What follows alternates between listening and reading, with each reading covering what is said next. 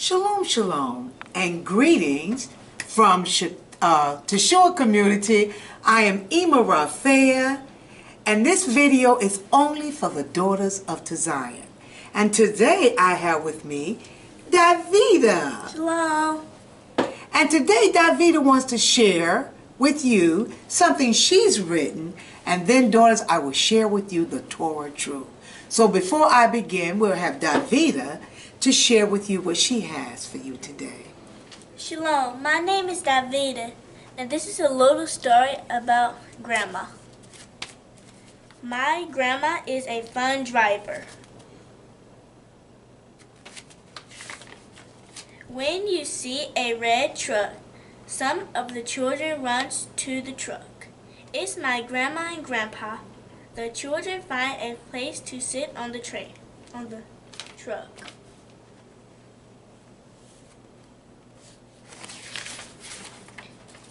The children go up and down, side to side. Sometimes they go on each other. It is so much fun.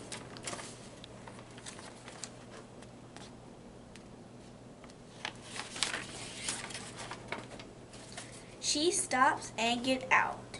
She smiles and laughs at us. We laugh as we are tired on the back. We, we unload, louder. We unload and get back in.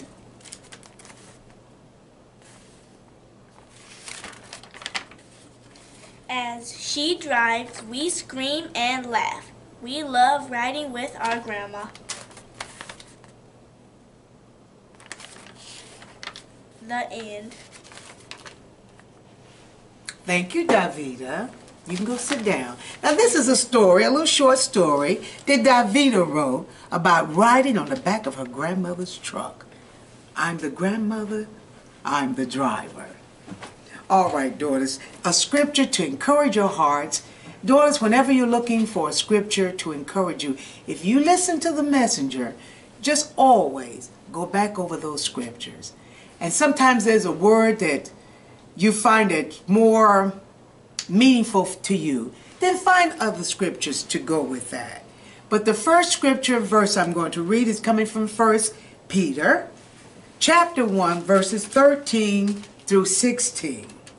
It says, Wherefore, gird up the loins of your mind, be sober, have tikvah to the end of Hasid that is to be brought unto you at the re revelation of Yeshua HaMashiach. And daughter, we're in an hour where we truly need to be sober. We don't need to be telling jokes. We don't need to uh, running from house to house.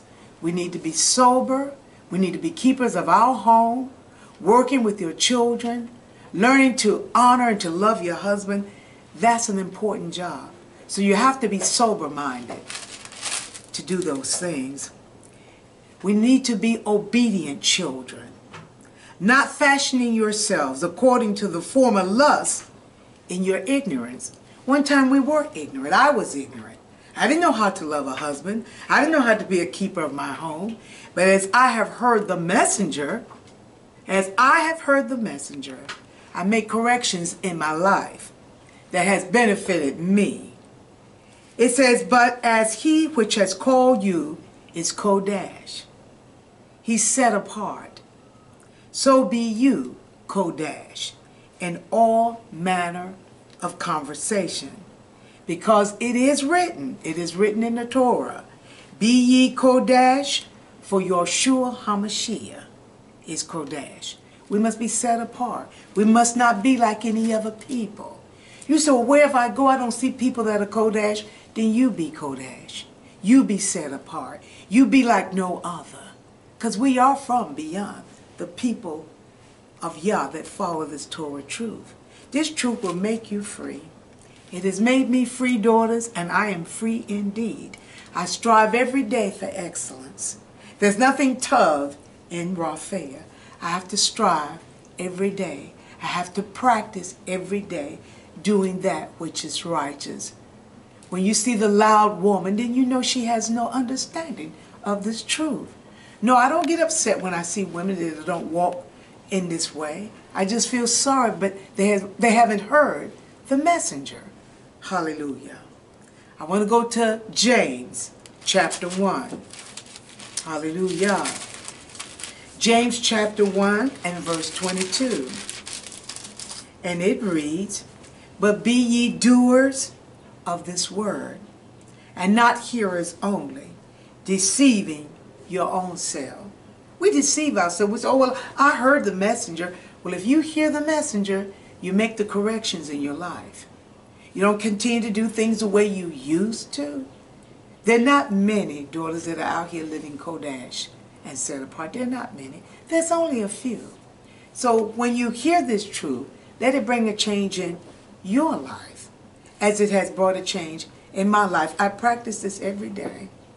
My, the way I think, I don't think the way I used to as a 20-year-old woman. Yes, I experienced Yeshua HaMashiach as a young 20, I was 22, 22 years old. And as I saw the changes in my husband's life, my ish, I started following pursuit. I didn't want to be the way I was. I, it changed everything, the way I thought, the way I dressed, the way I would go out amongst others. I was, I used to be the life of the party where I decided uh, it was wrong to be the life of the party. I learned how to study to be quiet. I don't have all the answers. You know, we today you see most women they think they just got the answer to everything. Well, I'm not an Oprah Winfrey. I don't want to be like her. I want to be like the daughters in this book. Hallelujah. And if you truly are a hearer, you'll become a doer. A doer. They work hand in hand. Not you're a hearer, you don't do. They work hand in hand. Hallelujah. But let me read this last scripture verse. And this is for all those. This is for all the women that are striving to do what's right. This is for you today, daughters. We're going to go to Psalms, Tehillim 100, verse 3. And it reads, Knowing that Yah is the mighty one. It is he that has made me. It is he that has made you. And not we ourselves. We are his people. We're his people. Everything that's on this earth, Yah has made it. Yah has made it. He's made the righteous for his pleasure and the wicked for the day of evil. It is Yah that has made us. We are his people, the sheep of his pasture. So we're his sheep. We should eat from this Torah every day. We examine ourselves. We learn how to love. The people of Yah must learn to live together, daughters.